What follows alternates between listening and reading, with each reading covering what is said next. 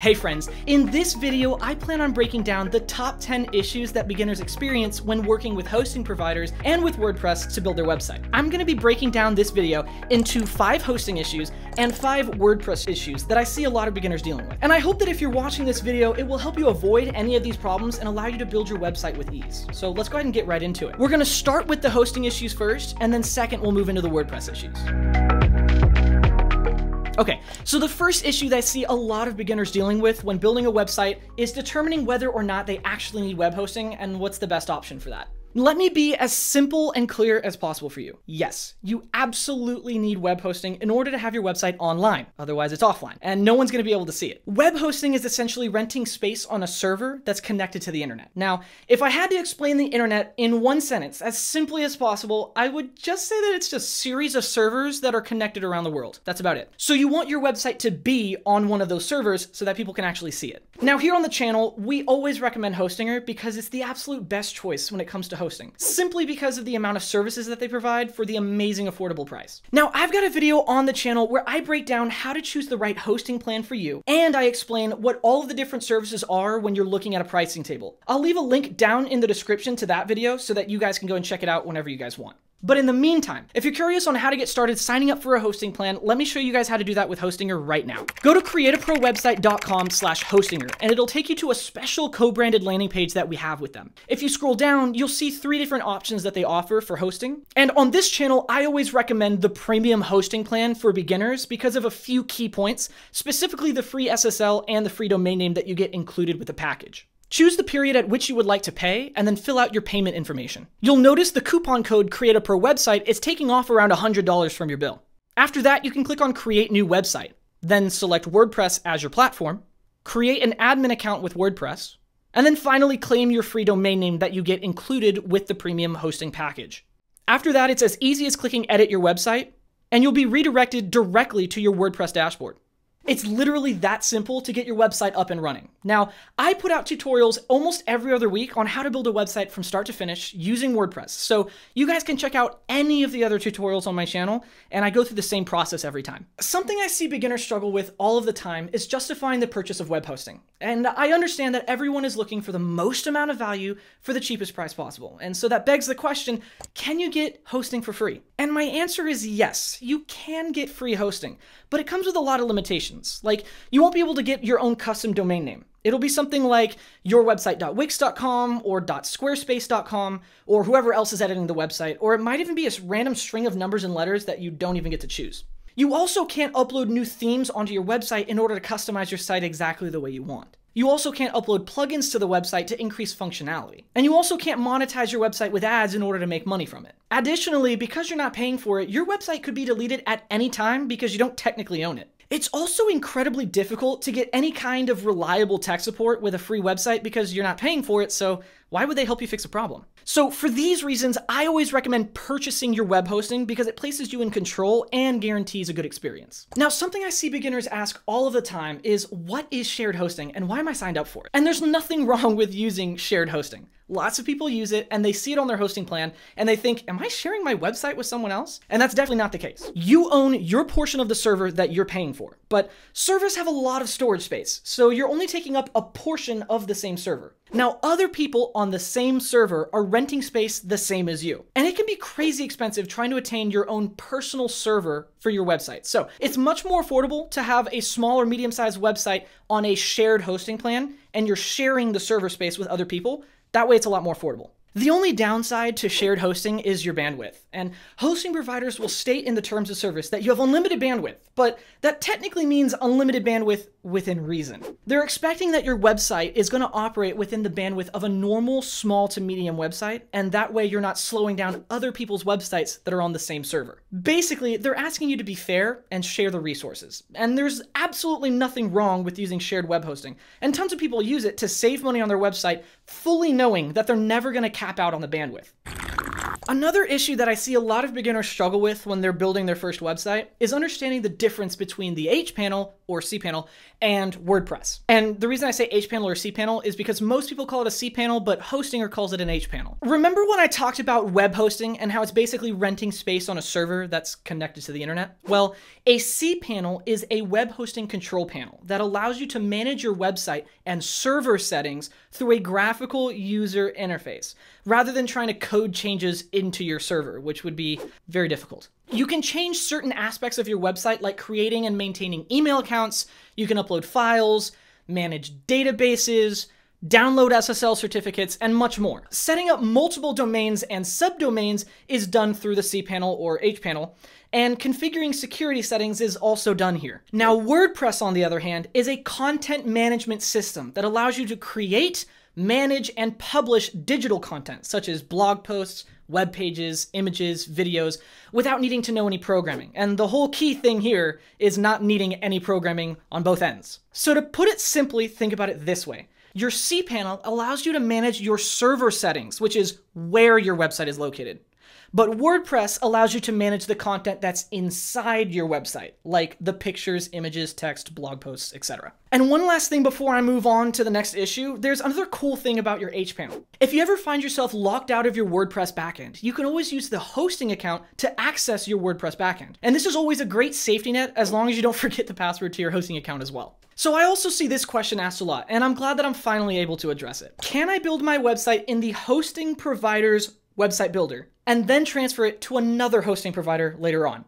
Unfortunately, no. If you build your website in one software and you move it to another, no matter what, you're going to have to rebuild it in the new location. Plain and simple. Now, I would say that this is another plus of building your website with Elementor and WordPress first. If you build your website with Elementor and WordPress, which are basically third party from your hosting provider, then if you switch hosting providers, and you switch domain names or whatever you switch, all you have to do is re-download Elementor and WordPress onto your new domain name and then just migrate your website over and you don't have to redesign it. I hope this makes things a bit more clear for you because when it comes to hosting providers, everyone's software is different, so it would be impossible for you to transfer your website over and keep it looking exactly the same way, unless you completely rebuild it at the new location, of course. So those are the top five hosting issues that I see beginners dealing with. Now it's time to move into the WordPress issues that I see people dealing with.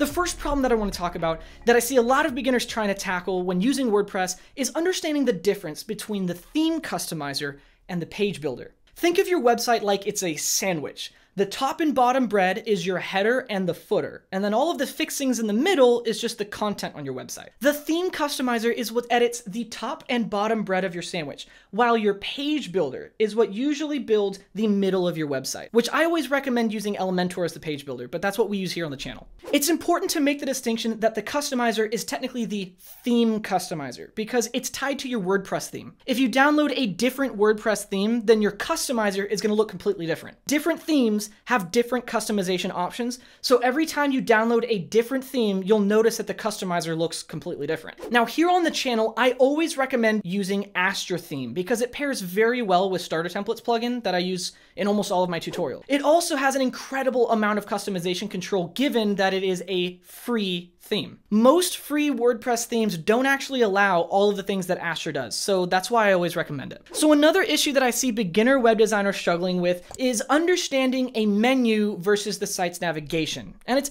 not necessarily that there's a difference between a menu and the site's navigation, rather you just use the menu at the top of the website as the navigation for the website. You can build multiple menus on your website, and you can have the main navigation menu in the top right, which is usually displayed there. But you can also create secondary menus for different places on your website, like in the footer. Some menus might only display pages in the footer, like the policy, the terms of service, and all of those things, while the navigation menu in the top right corner of the website guides you to different main pages of the website, like the home, about, contact, and you guys get the idea. At the end of the day, the navigation of your website is usually in the form of a menu in the top right corner of your header.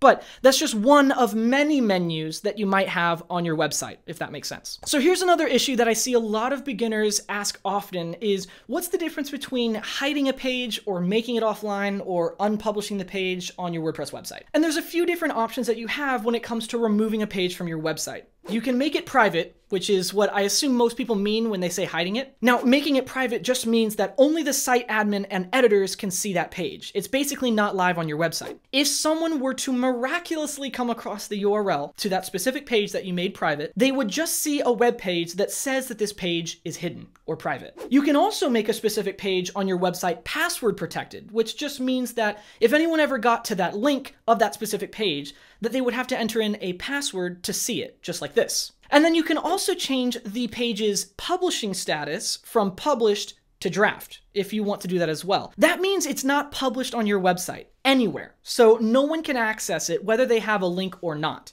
But it's also not been deleted either, so you're still able to make changes and edit the page before republishing it again. And the reason that I mention this a lot about whether someone has the link to that page is because even if you don't have a single button on your webpage or homepage anywhere that links to this page, theoretically, if someone had the URL to that page for some random reason, they could still access it unless you block it in some way, like making it private or password protected or making it a draft. Also, on somewhat of a related note, if you ever notice that your URLs look like garbage, like this for example, there's a way to fix that where every single page is labeled with a clean URL. From your WordPress dashboard, just go to the settings and click on permalinks, and switch it from plain to post name. This is what's gonna make your URLs look nice and pretty. Another issue that I see a lot of beginners running into is trying to find out if they can make changes to their website or updates without it being live on their website yet. And this is really easy to do. There's two ways that you can make this happen. The first would be referring to the issue that we just talked about,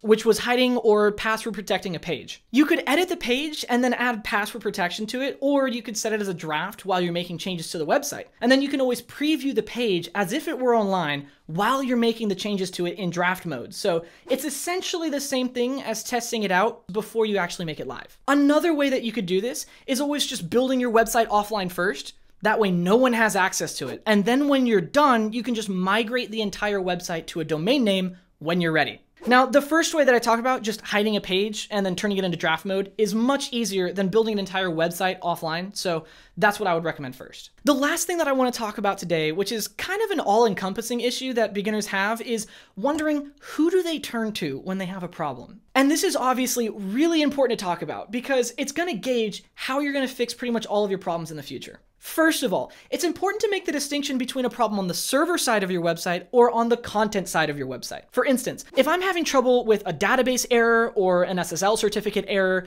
or my website gets suspended or something like that, it's probably going to be a problem with my hosting provider, and I should reach out to technical support with them so that they can figure out what the problem is. If on the other hand, I'm having issues with a video not popping up on my website, or an image not popping up, or some kind of a visual error on my website, it's probably going to be an issue with WordPress WordPress or any of the numerous plugins that I have installed on my website. Now, the bright side about the more difficult problems on the server side of your website, like having database errors or things like that, is all you have to do is contact tech support with your hosting provider, and they'll essentially handle it for you. When it comes to appearance problems on your website and problems with Elementor or WordPress or any of the plugins that you have, you usually have to fix those problems on your own. But I would say that you could definitely try reaching out to whoever you need to, depending on what's wrong. If you find out that one of the plugins isn't working properly on your website, then you're more than welcome to try and reach out to the developer of the plugin to ask for assistance. But if there's one thing I know to be true, there's usually two main sources of problems on anyone's website, and it's gotta be updates and caching issues. So before you go and start scouring the internet for answers to why your website's not working, check if it's up to date first and make sure that all of your plugins are updated and all of your themes are updated on your WordPress dashboard. There's an update icon that you can click on right here to check if you're all up to date or not. Usually an out of date plugin is the reason that your website crashed or that an image isn't popping up or anything like that. After that, if you're still having problems, go ahead and double check that you don't have a previously cached version of your website downloaded on your computer that's causing problems. You can clear your browsing history history on your web browser and also your browser cache, which is the most important part, and see if this fixes the problem. Once you do those two things, then I would start doing your own research to figure out what the problem is and see if anyone else out there is having the same issue or if you can find a YouTube video on the problem or something like that. Thankfully, that's what my channel is here for. So these are some of the most asked questions that I get with WordPress and hosting. What do you think? Did we cover your issue in the video? Let me know down in the comment section if you have any other questions, and I'll be sure to answer them, or maybe just make a part two of this video. We'll see if I get enough. And there actually is a whole other topic that web designers seem to really struggle with, and that's exactly what I cover in this video right here. I reveal the ugly truth of why your website may be boring. And exactly how to fix it. So I'd check it out unless you want to be like some of these boring, outdated websites in this video. I'll see you there.